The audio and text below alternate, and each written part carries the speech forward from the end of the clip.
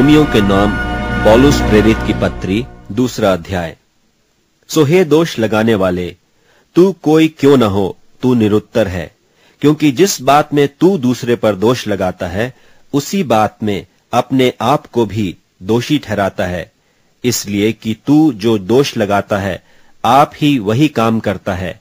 और हम जानते हैं कि ऐसे ऐसे काम करने वालों पर परमेश्वर की ओर से ठीक ठीक दंड की आज्ञा होती है। और हे मनुष्य, तू जो ऐसे ऐसे काम करने वालों पर दोष लगाता है, और आप वे ही काम करता है, क्या यह समझता है कि तू परमेश्वर की दंड की आज्ञा से बच जाएगा?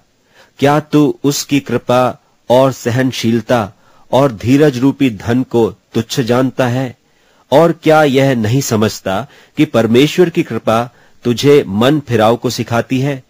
पर अपनी कठोरता और हठीले मन के अनुसार उसके क्रोध के दिन के लिए, जिसमें परमेश्वर का सच्चा न्याय प्रकट होगा, अपने निमित्त क्रोध कमा रहा है। वह हर एक को उसके कामों के अनुसार बदला देगा, जो सुकर्म में स्थिर रहकर महिमा और आदर और अमरता की खोज में हैं, उन्हें वह अनंत जीवन देगा।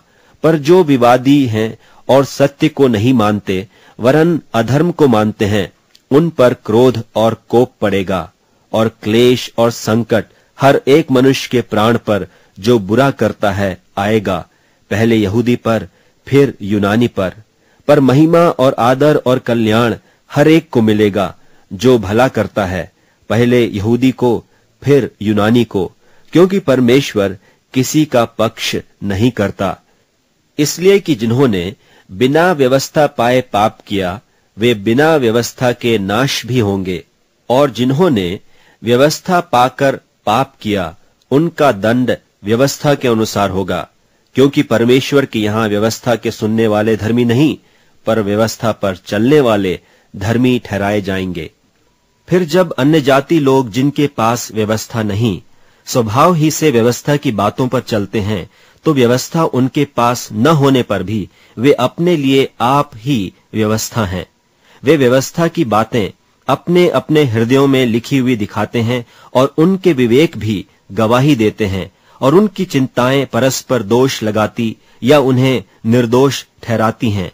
जिस दिन परमेश्वर मेरे सुसमाचार के अनुसार यीशु मसीह के द्वारा मनुष्यों की गुप्त बातों का न्याय करेगा। यदि तू यहूदी कहलाता है और व्यवस्था पर भरोसा रखता है और परमेश्वर के विषय में घमंड करता है और उसकी इच्छा जानता और व्यवस्था की शिक्षा पाकर उत्तम उत्तम बातों को प्रिय जानता है और अपने पर भरोसा रखता है कि मैं अंधों का अगुआ और अंधकार में पड़े हुओं की ज्योति और बुद्धिहीनों का सिखाने वाला और बालकों का उपदेशक हूँ और ज्ञान और सत्य का नमूना जो व्यवस्था में है मुझे मिला है, सो क्या तू जो औरों को सिखाता है, अपने आप को नहीं सिखाता? क्या तू जो चोरी न करने का उपदेश देता है, आप ही चोरी करता है? तू जो कहता है, व्यभिचार न करना, क्या आप ही व्यभिचार करता है? तू जो मूर्तों से घृणा करता है, क्या आप ही मंदिरों को लूटता है? तू जो व्यवस्था के विषय में घमंड करता है, क्या व्यवस्था न मानकर परमेश्वर का अनादर करता है? क्योंकि तुम्हारे कारण अन्य जातियों में परमेश्वर के नाम की निंदा की जाती है जैसा लिखा भी है, यदि तू व्यवस्था पर चले तो खतने से लाभ तो है, परंतु यदि तू व्यवस्था को न माने तो तेरा खतना बिन खतना की दशा ठहरा। सो यदि खतना रहित मनुष्य व्यवस्था की विधियों को माना करे तो क्या उसकी बिन खतना की दशा खतने के बराबर न गिनी जाएगी? और जो मनुष्य जाति के कारण बिन खतना रहा, यदि वह व्यवस्था को पूरा करे तो क्या तुझे जो लेख पाने और खतना किए जाने पर भी व्यवस्था को माना नहीं करता है, दोषी न ठहराएगा?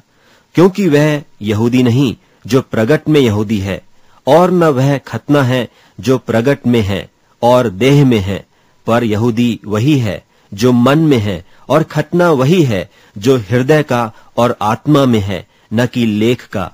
ऐसे की प्रशंसा मनुष्यों की ओर से नहीं परंतु परमेश्वर की ओर से होती है।